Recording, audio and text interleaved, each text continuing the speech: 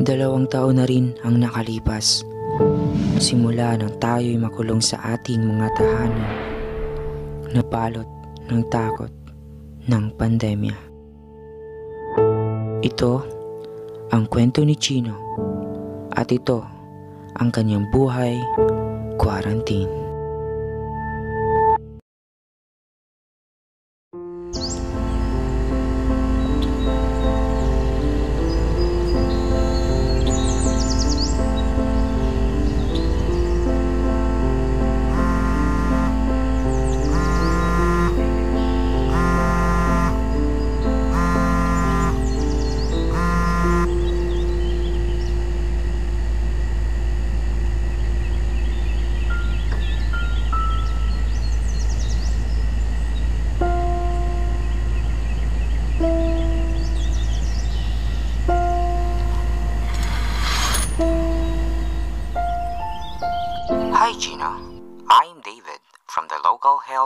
Organization.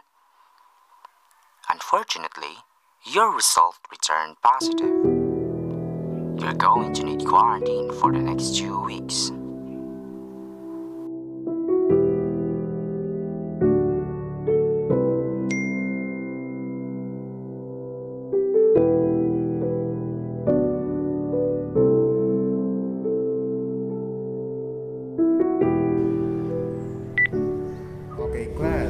Exam The would be on Tuesday, so kindly work on your assignments for you for you how the Philippines handles the pandemic. Nakabalik eskwela na rin ang mahigit dalawang apat na sa mga aralan. Diyos ko, tulungan niyo po ako.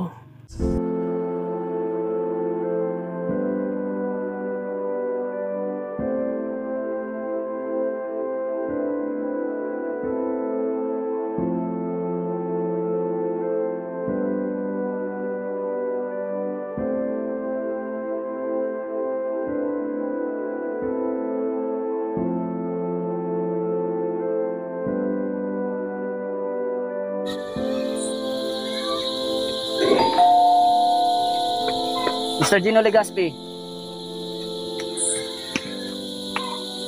Apo, Ayuda po galing barangay. ah, salamat po. So kung may kailangan ka, andyan lang yung number ko. Salamat po. Sige, sige.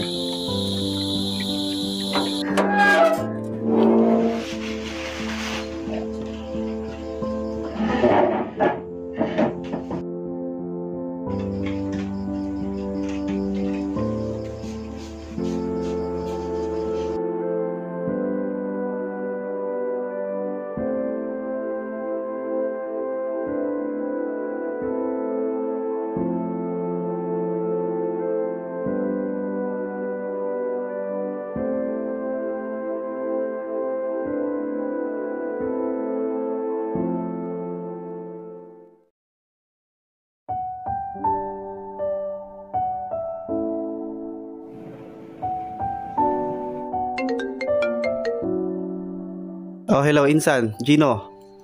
O, kumusta? Insan, kamusta? Kamusta kalagayan ni Mama? Ah, yung mama mo? Ah, ito. Okay naman siya pero alam mo naman, lumalaban pa rin.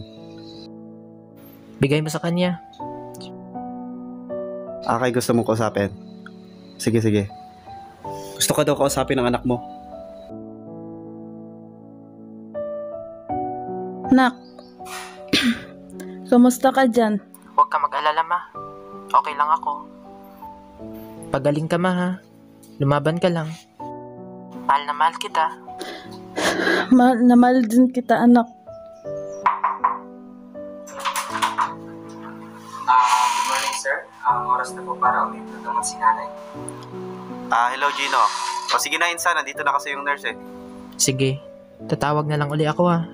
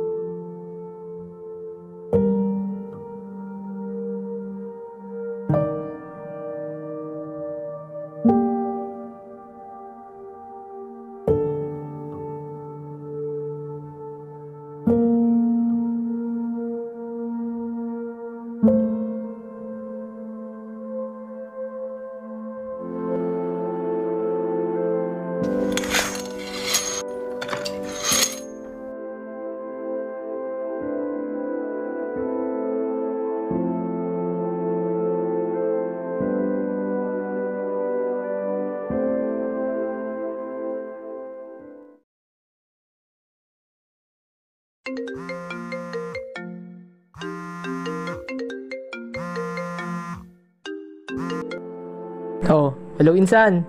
Ba't napatawag ka? Insan, Oh, bakit? huwag kang mabibigla. Si tita, Oh, anong nangyari kay mama? si tita wala na. Insan, Gino Insan, sorry. Wala na tayong magagawa. Insan huwag kang magbiro ng ganyan.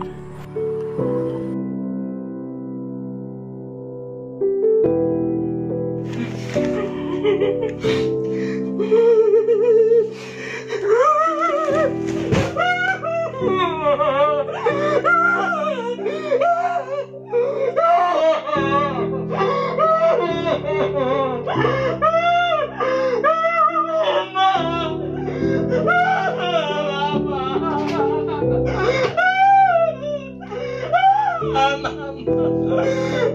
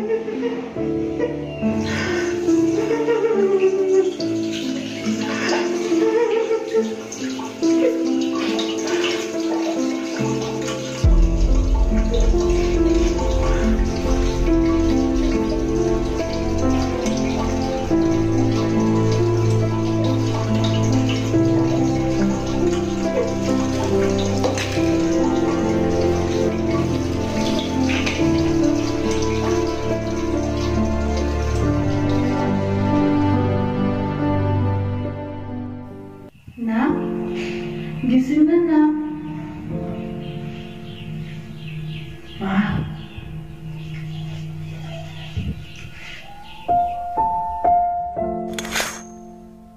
Ma, akala ko wala ka na. anak, nandito lang ako palagi. Ma, hindi ko kaya na. Wala ka.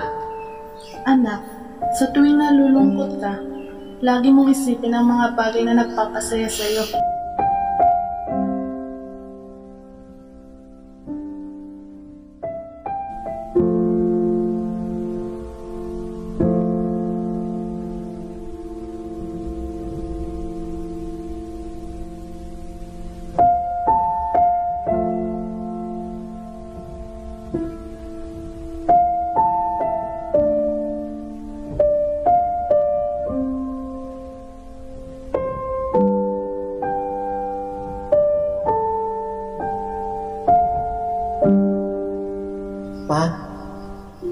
nagka-COVID? Ba't pa nagka-pandemic? Anak, hamon natin sa atin ng Panginoon. Malalagpasan din natin ito, kaya't magdasal na tayo, anak.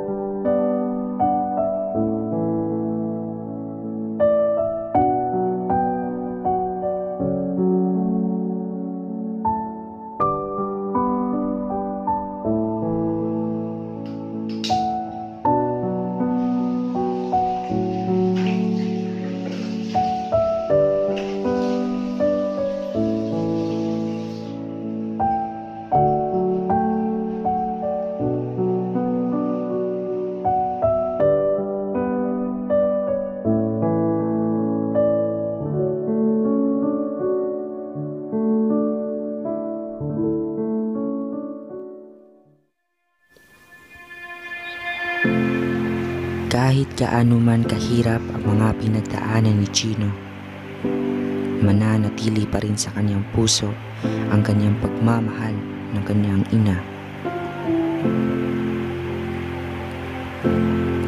Sa buhay, di lahat nananalo. May mga tao pa rin pinalad na marangyang buhay. Ngunit, hindi ibig sabihin, susuko na tayo. Ang buhay ay isang laban. Kailangan mong pagdaanan ang sakit, pagod at pagsubok. At kailangan mong makaligtas sa mga hamong ito. Ito ang kwento ni Chino at ito ang kanyang buhay quarantine.